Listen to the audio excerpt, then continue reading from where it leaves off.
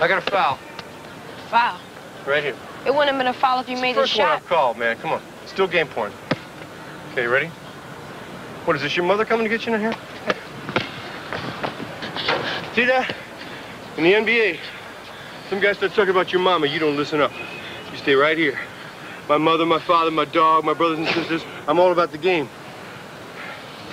Baby, We got you better get hungry. You're not going to be there with me. What I got to worry about is the road, man.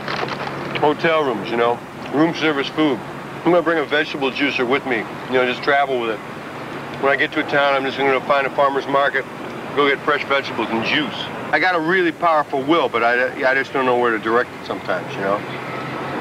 Like, I knew I was hungry, and I knew I had to get food, and I did, you know? That's an example of my willpower. You know, it's just that, I, you know, I didn't have time to go get uh, the vegetables this morning. Whoopi Goldberg, Sister Act, NBC tomorrow night. It's like a religion with me. I believe in myself. I'm there for me. I believe in the ball. The ball is there for me. I believe in the court, but I just can't find the court. I have a ball. And I'm here. I just can't find my court. I know it's out there. Somewhere.